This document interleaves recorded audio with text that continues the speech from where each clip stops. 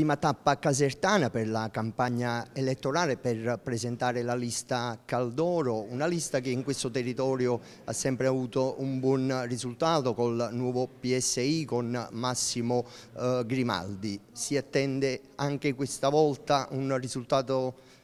eh, entusiasmante, insomma che sensazioni ha? Intanto io da Caserta, in terra di lavoro vengo da sempre eh, ci ho visto che qualche candidato oggi si viene ogni, per la prima volta, dice ah quanto è importante, quanto è bella, invece no, io la frequento da sempre, ho qui tante, tante iniziative politiche, una storia lunghissima, ho iniziato in tutti i comuni, è stato il mio collegio elettorale, quindi conosco Caserta, il Casertano e Terra dei Lavori, tutta, tutta la sua bellezza, la straordinaria forza. E quindi abbiamo investito in questi anni molto anche di fronte alla crisi economica durissima, grandi progetti, grandi investimenti, ma soprattutto dobbiamo guardare al futuro e quindi l'asse di collegamento verso Roma è fondamentale, fondamentale per creare occupazione, lavoro e sviluppo. E il nostro impegno, un impegno di serietà, quello che viene in una conoscenza del territorio ormai di tanti anni, quindi sono assolutamente fiducioso che le nostre ragioni, le cose che diciamo, funzionano e avranno ancora una volta la fiducia dei cittadini dei Lavori.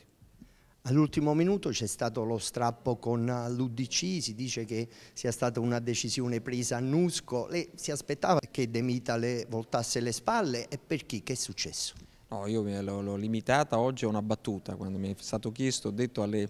ma l'ho preso con ironia, eh, alle vecchie bande, alle vecchie bande eh, preferiamo e preferisco la banda larga, eh, da una parte c'è il vecchio, il passato, e noi guardiamo in avanti, guardiamo al futuro, non possiamo fermarci alle vecchie esperienze politiche, alla vecchia politica, ai vecchi metodi della politica, agli accordi che si fanno nelle stanze oscure. Hanno fatto un accordo di Luca e di Mita in una notte in una stanza un, del comune di Marano, si sono chiusi in una stanza in periferia e hanno deciso la loro alleanza. Non si fa così. Le afferenze si fanno in maniera trasparente di fronte ai cittadini dicendo voglio fare questo, voglio eh, lavorare per questi obiettivi. Ecco, loro sono il passato, il vecchio e noi siamo il cambiamento e il futuro. Ma in sostanza qual è stato il punto politico per cui insomma, tra lei e l'Udc, che pure è stato un alleato in questa legislatura, non si è trovato l'accordo? No, intanto chiarirei, non c'è il problema dell'Udc, i centristi stanno con noi, quindi ormai il nuovo centrodestra è il centro, non più eh, l'Udc. Quindi l'Udc è Demita, con tutto il rispetto della storia politica di Demita, ma non c'è più l'Udc.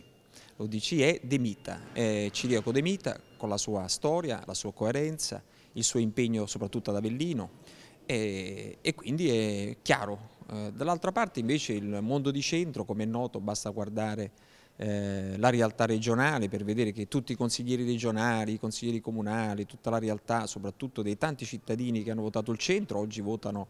l'alleanza la, eh, popolare, quindi tutta la parte che riguarda Campania Popolare, tutta la parte che riguarda il centro vero che sta con noi quindi, ed è quella la vera forza di centro insieme chiaramente a Forza Italia. Lei prima ricordava alcuni punti eh, raggiunti dalla sua maggioranza, eppure De Luca dice che lei in questi anni non si è neanche accorto di essere Presidente della Regione Campania.